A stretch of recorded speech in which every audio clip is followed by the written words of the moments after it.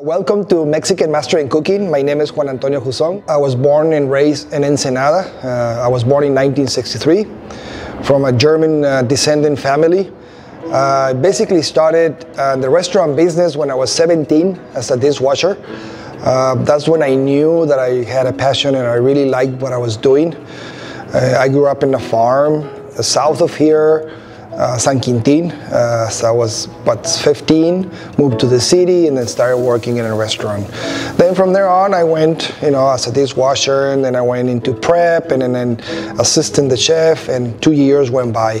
When I turned 20. Uh, my family asked me what I wanted to do with my life, and I said, Well, I want to be a chef and I want to study.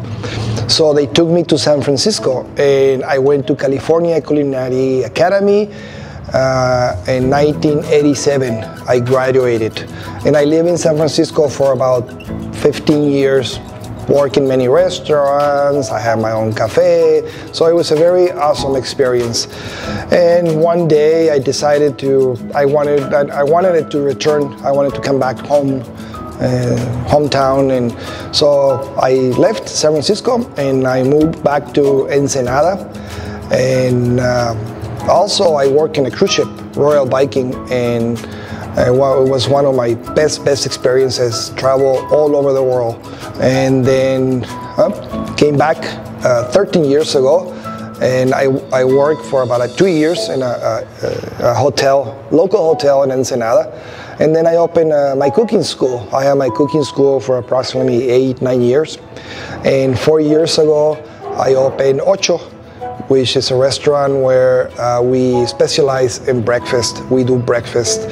And we had uh, the restaurant, I still continue with my cooking classes. And with the restaurant, I also do some private dinners in the afternoon in the restaurant.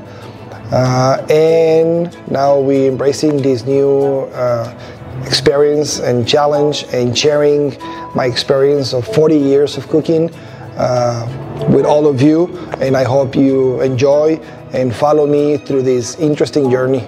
We are just beginning, and this is the beginning of a very huge project, and hopefully, we'll have all the energy and people will follow us and we'll share the knowledge. Thank you.